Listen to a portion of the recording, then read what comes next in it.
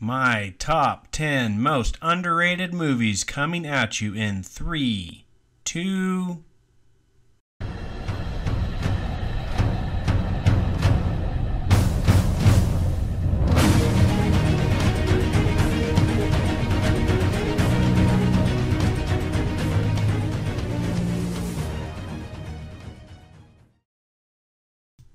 Hey folks, it's the blind guy here, and I'm going to be coming out with some top 10 lists.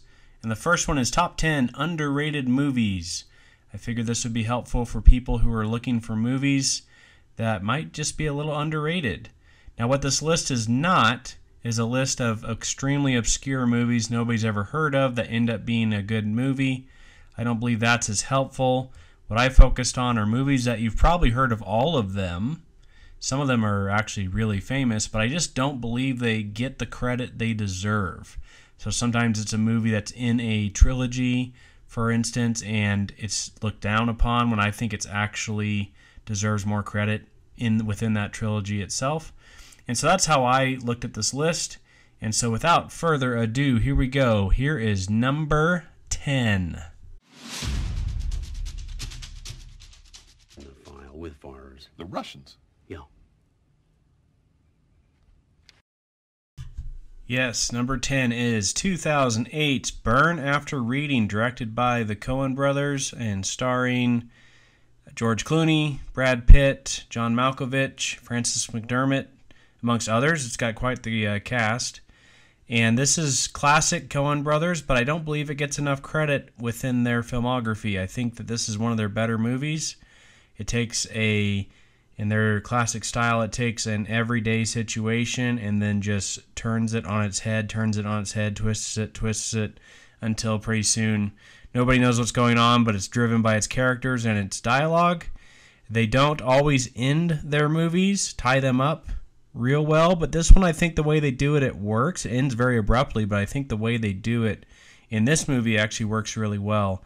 It's got extremely funny dialogue, but it's not over the top like Big Lebowski or Raising Arizona. I believe it's it's in the middle, closer to Fargo, maybe a little bit goofier than Fargo, but I just think it's it's a really a fun movie to watch. I just don't know why it doesn't get the credit I believe it deserves. I think it's quite entertaining, and everybody I've shown it to has, has really enjoyed it. So if you get a chance, check out Burn After Reading. I think you will really enjoy it.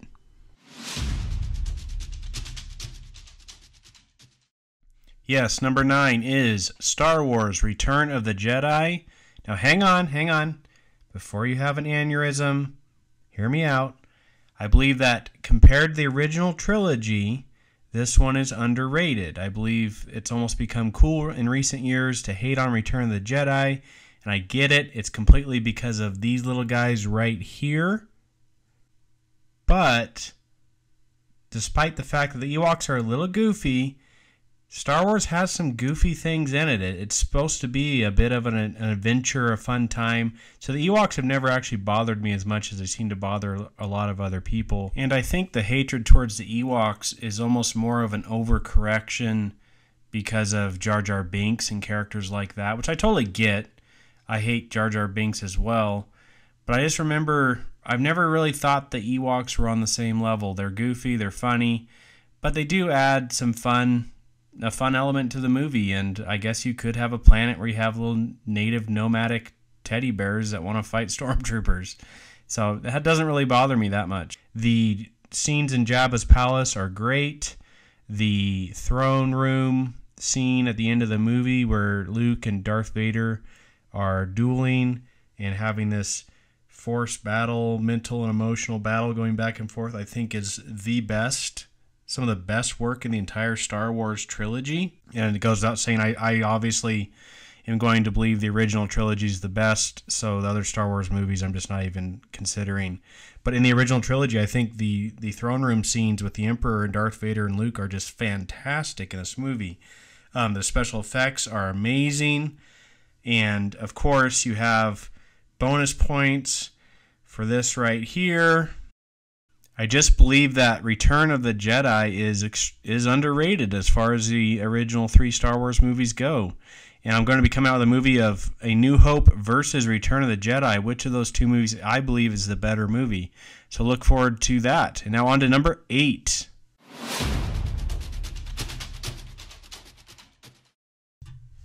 All right, number eight is The Family Man from 2000, starring Nicolas Cage and Téa Leoni, and music by Danny Elfman.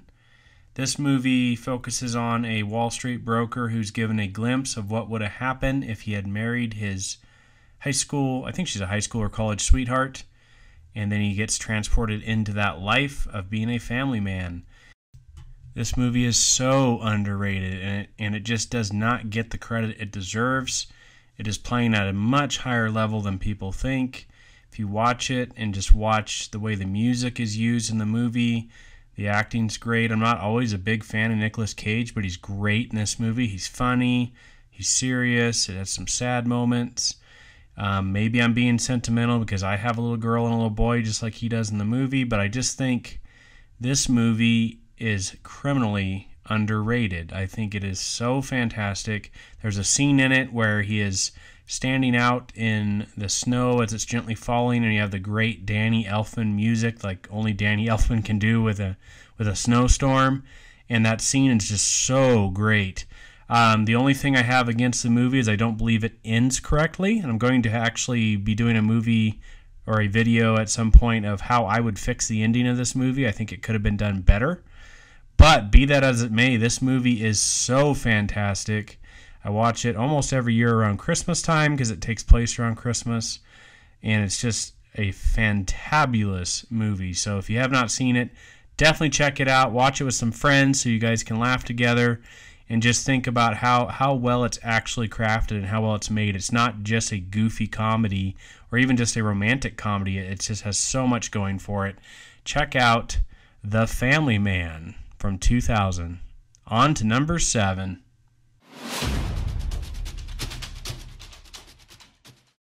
And coming at number seven, we have the 1977 animated classic, The Hobbit. And I'll be honest, the new trilogy under the same name has driven this movie way up, in my opinion.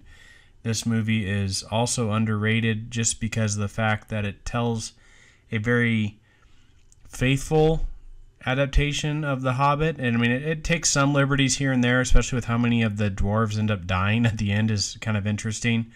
But the movie is just, it's the right length. It paces itself so much better than the new trilogy does. And just John Huston as Gandalf is fantastic in this movie. Every time I see him in an old movie, that's all I think of is Gandalf from the 1977 The Hobbit. If you can get a chance to check this out, definitely do so. Um, it's fabulous. Uh, kids love it. It's just a great, a great uh, rendition of The Hobbit. So check it out if you get the opportunity. That's the 1977 animated The Hobbit. And coming in at number six, we have 1991's The Rocketeer, starring Billy Campbell, Jennifer Connelly, Alan Arkin, and Timothy Dalton. This movie is fantastic if you have uh, teenage kids that want to watch a fun movie. Um, it's a Disney movie that I just believe is, is so underrated. It's one of the last movies I can remember that gave me the Indiana Jones adventure feel, but also could still have emotion and story and was paced correctly. The Rocketeer is just so much fun. Of course, it gets bonus points for having Jennifer Connelly in it. It's always going to get bonus points, in my opinion. But the movie's just, I mean, the bad guys are great. There's mobsters, there's FBI agents. It takes place in a great time period.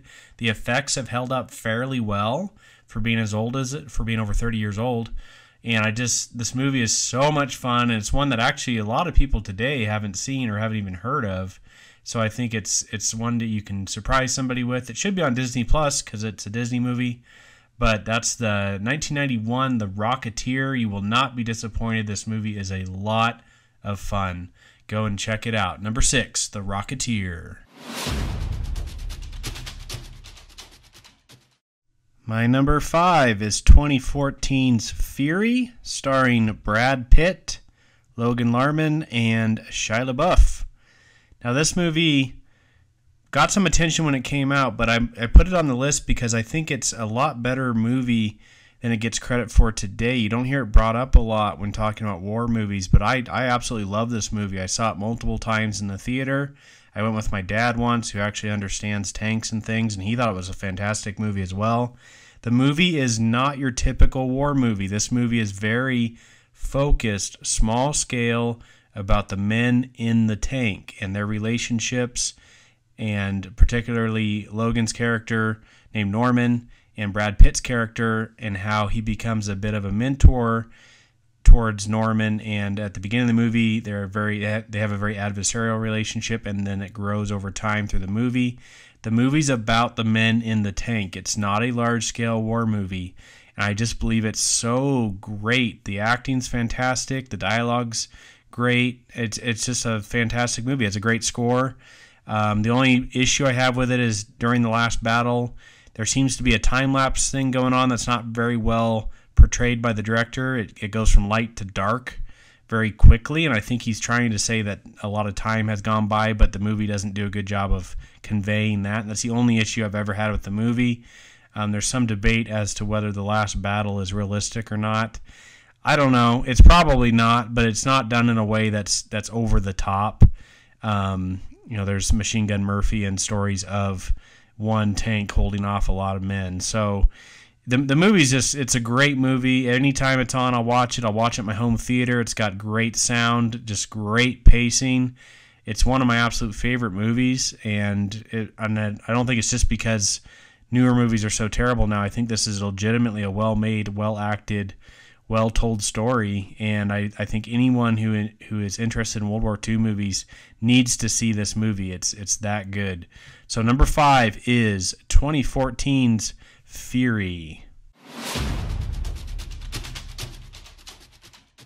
And our number four is 1998's The Prince of Egypt, starring Val Kilmer, Sandra Bullock, um, Jeff Goldblum's in this, Martin Short, Steve Martin. This movie has a lot of great names in it. This is when DreamWorks was really starting to challenge Disney and, and actually, in my opinion, stick it to them in this movie. This is also, in my opinion, by far the best telling of the Moses story out of Exodus, and I, it's actually it's it's extremely faithful to the biblical um, narrative on the story, except for the fact that we're not told in the Bible that it's Ramesses and that they've telescoped the story so that Moses isn't as old as he is in the Bible when he comes back. But other than that, it's really pretty faithful. Um, it's got great uh, voice acting. The music is done by Hans Zimmer, and the lyrics to the songs are done by Stephen Schwartz, which is just a dream team if you had to do an animated movie. Um, it's got uh, it's just got a great a great telling of the story. It accepts the story as true, and I believe that's important for telling the Exodus story. That's a mistake that Gods and Kings makes by Ridley Scott, is it can't decide whether it wants to treat the Exodus story as true or as a myth, and so it tries to straddle both, and then it just ends up making everybody angry. I think if you're going to tell a biblical story, uh, assume that it is true, and you're going to your audience is going to enjoy it better. And uh, you don't have to believe it if you don't want to, but the story is going to come across as much more genuine and just it just makes for a better biblical story. The the story the the garbage movie Noah with Russell Crowe did the same thing. It just didn't stay true to the biblical story and I just often have thought, well, then why would you tell a biblical story if you're not going to stay true to the subject matter? And so this one, this one just knocks it out of the park. I love the Prince of Egypt. Um, like I said, just a great score, great, greatly paced. It's just an awesome movie. Great for kids. Um, the Passover portion of it can be a little scary for little kids, but if you have kids that are eight, nine, ten years old, they're going to love this movie. It's so great. And it's one of the last truly animated movies. I think it has actually a little bit of CGI used in it, possibly, but most of it's truly animated, and that's right when that was starting to go away. So it's just a, a, a very underrated movie. That's number four, The Prince of Egypt from 1998. On to number three.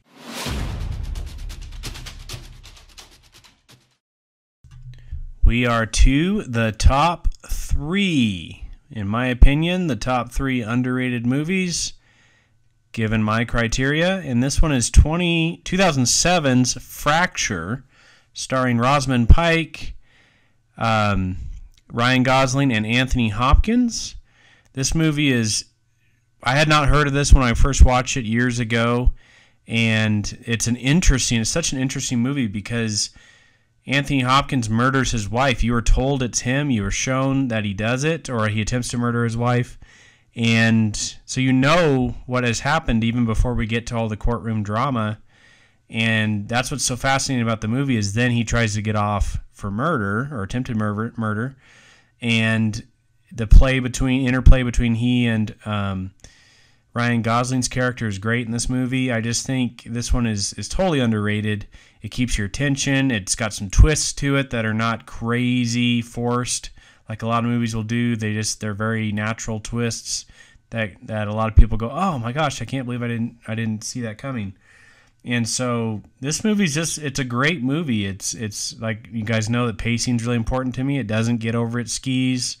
It doesn't uh, move too quickly. It doesn't move too slowly. It's just the right the right amount of goodness in a movie. I think this movie's great to watch. So definitely check it out. It's fun to even if you've seen it, it's fun to watch with somebody who hasn't because I guarantee you they have no idea what happens in this movie. They probably never even heard of it. It could be one of the more obscure movies on this list, but it's just it's a great movie, and so um, check it out. That is 2007's Fracture.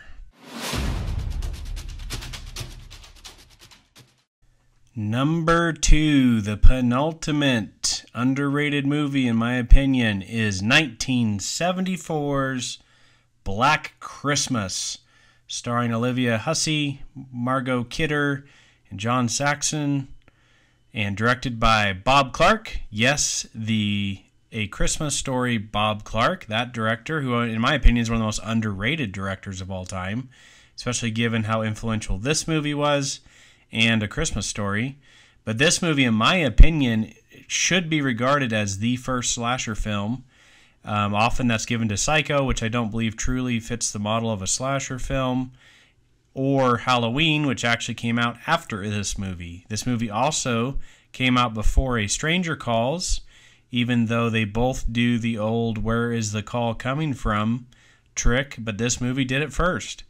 This movie also has far more of a story to it than the slasher movies that came out after it. It's got drama, it's it's got some red herrings. You're never quite sure who the killer is until towards the end. And of course, Olivia Hussey is just fantastic in this movie. It's just it's Bob Clark does a great job of playing off of the Christmas time atmosphere with the neon lights and the snow and the cold. And it was actually filmed in very cold temperatures at times and it, it's just it's an extremely underrated movie. It's everyone I've shown shown this movie to. If they're horror movie fans, they just think, man, where has this movie been? It's it spawned two remakes slash sequels that were just absolute abominations. Do not waste your time watching those. But the 1974 Black Christmas is so hard to beat as far as slasher movies go. It's not gratuitously violent or anything like that. It's just it just hits on all cylinders.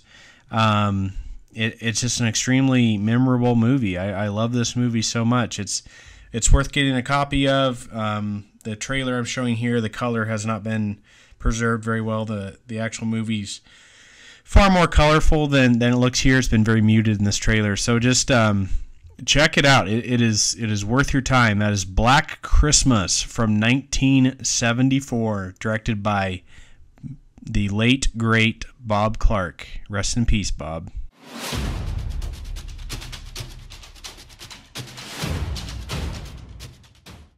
So, can you guess what it is? My number one most underrated movie, in my opinion, given my criteria, came out in 2000, stars Dennis Quaid, Jim Caviezel, and Elizabeth Mitchell. If you haven't guessed it already, it is Frequency. This movie is so underrated. I believe that it achieves greatness by just stacking up a whole bunch of good and not having really any weaknesses. Dennis Quaid, good actor, not great. Jim Caviezel, good actor, probably closer to great than Dennis Quaid, but the story's good, the acting's good, the pacing's good, the twists are good. And if you stack enough good together, you end up with a great movie. I think this is a fantastic movie. I remember I watched it not knowing much about it. I thought it was just about a guy who talked to his father 30 years in the past who had passed away over a radio. And that was a good thing that I didn't know much about it because it just threw curveball after curveball at me. I then watched it with friends. I believe we were at, it was like prom night or something. We watched it after the dance and they all thought it was so fantastic. You know, take my advice. If you're going to watch this, don't watch the trailer. I think the trailer gives away too much. I'm probably giving away too much by having it playing here. But just check it out. Go into it not the less you know about it, the better off you're going to be going into it because it's going to throw some some really great twists at you that are very natural and logical from from what's happening in the movie. And it's just one of those kind of messing with time uh, continuum type movies that really pulls it off well though. I mean obviously none of these movies are going to be perfect because time travel just causes all kinds of contradictions and paradoxes but be that as it may this one does it really well and i just i cannot believe this movie doesn't get more credit than it than it does already it's such a fantastic movie so that is my number one uh, frequency uh, from 2000 it let me know in the comments are there any movies that should not be on the list on the list are there any movies you believe should be on this list I've got some other movies. I'll probably do another top 10. Um, maybe it's going to be from uh, 20 to 11 or something like that. But just let me know what you think. Did I miss something? Or am I way off base? I just just keep it respectful, and we'll uh, we can always have a good conversation. So thank you for your time. I had fun making this, and thank you so much for your support of my channel. And I'll catch you guys on the next video. Bye bye.